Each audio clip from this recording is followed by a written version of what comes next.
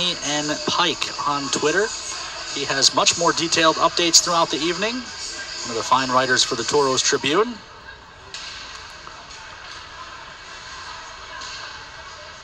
Hannison up top for Jockums. Jockums leaves off far side Lettinen. Drops down Kettinen, trying to jam it across for O'Hanisain. It didn't get through. He'll hand off Lettinen. He'll come across O'Hanisain. Up top, Jockums.